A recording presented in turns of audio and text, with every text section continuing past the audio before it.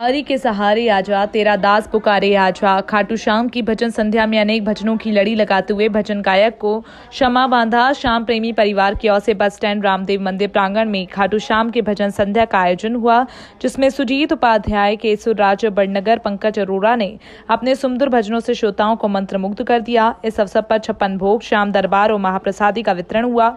इस अवसर पर महिलाओं, बच्चों में खूब भजनों पर नाची। आसपास के अनेक ग्रामीण श्याम प्रेमी भजनों के लिए आए थे।